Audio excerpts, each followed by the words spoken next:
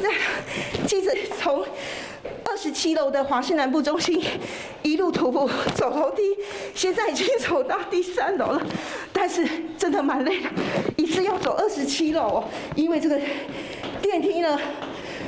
是完全没电的，停电了，没电梯搭。记者从二十七楼南部中心爬楼梯，爬得气喘吁吁。更高楼层的办公人员，有人爬到一半就放弃了。你在几楼上班？你们在几楼？三十九。哦，天哪，就在十七楼哎。我崩溃了。爬了十七楼，两个人已经上气不接下气。上午九点多的大停电，有四十楼高的华视南部中心大楼，发电机来不及启动，每层楼瞬间一片黑。管理中心报告，管理中心报告。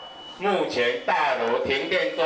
从监视器画面看到，一批人刚走出电梯，不到三秒就断电，还好没有受困。只是接下来要上楼的一群人傻在电梯口望着没反应的电梯，还有人来上班的途中遇上停电。我坐捷运坐一半下车了，捷运说要等一下，嗯，就等了大概六七分钟，说。呃，不开了，自行找交通工具。甚至不少高楼层的办公人员干脆不上楼了，直接就在大厅等。有人没电无法办公，下楼偷闲，就只能等等待啊。就在这边喝饮料等待。对对。